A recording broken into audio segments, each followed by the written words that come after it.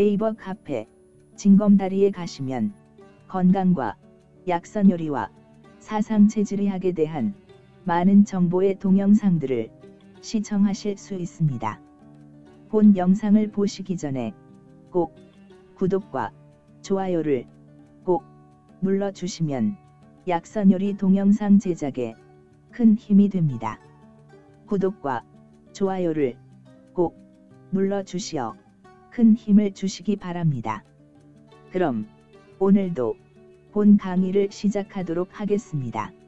사상 체질의학, 체질 공부를 하지 않으면 약선 요리를 시작하지 못하기 때문에 약선 요리를 배우고 싶고 약선 요리를 하기 위해서는 먼저 체질 공부를 해야 진정한 약선 요리를 할 수 있기 때문에 체질 공부를 심도 있게 공부하기로 한다.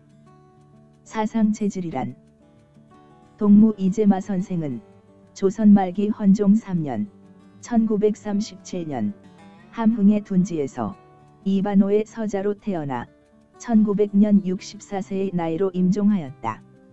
그는 많은 사람들의 아픈 증세에 같은 병명에 같은 약을 써서 사용했으나 누구는 낫고 누구는 더 악화되는 것을 보고 의문을 품고 꾸준한 원인과 이유를 찾기 위해 매달려 사람마다 체질이 다르다는 것을 깨우치고 서로 다른 약재를 사용해야 한다는 오랜 임상 실험을 통하여 알게 되었다.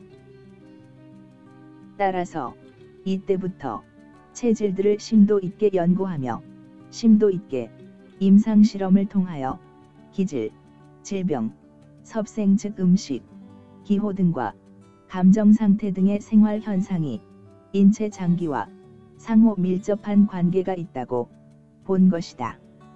결국 오장육부 기능과 강약, 크고 작음을 통하여 태양인, 소양인, 태음인, 소음인으로 나누게 된 것이다. 사상의학에서는 각자의 체질은 선천적으로 부모의 체질을 이어받는다고 하며 몸과 마음을 함께 다스려야 질병을 예방하고 치료할 수 있다. 증세가 같다 하더라도 체질에 따라 사용하는 약재가 다르게 사용해야 한다는 것이다. 몸이 뜨거운 사람, 즉, 양체질에게는 차가운 성질의 약을 써서 몸이 정상적으로 균형이 잡히며 반면에 찬 사람, 즉, 음체질은 따뜻한 성질의 약을 써야 몸의 균형이 잡혀 신진대사가 잘 되게 한다. 또한 부족한 기를 보충하여 면역력을 높여 질병을 무력화시키는 것이다. 그러나 현대의학은 체질과 전혀 무관하게 무조건 동일한 약을 처방하므로 자주 부작용이 나타낸다.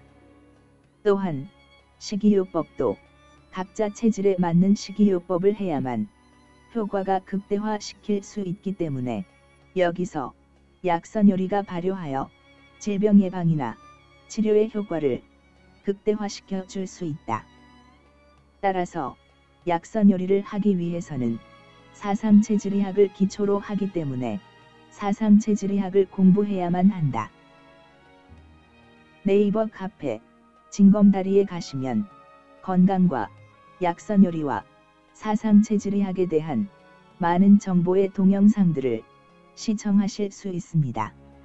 본 영상이 마음이 드시면 꼭 구독과 좋아요를 꼭 눌러주시면 약선요리 동영상 제작에 큰 힘이 됩니다. 구독과 좋아요를 꼭 눌러주시어 큰 힘을 주시기 바랍니다. 지금까지 시청해 주셔서 대단히 감사합니다.